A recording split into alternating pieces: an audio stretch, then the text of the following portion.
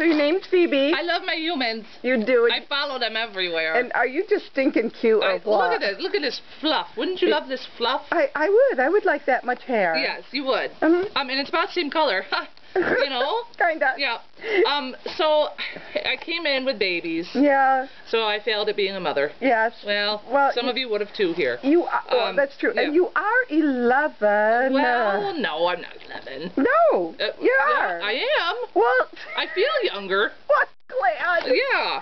That's that's what we were told when you got here. You were 11. And I had babies. Uh, and we're gonna get your teeth cleaned. Oh, um, good. Well, I'm working on it right now. You got more of that stuff? I do. Okay, please. I'm I'm kind of equipped here today Well, good.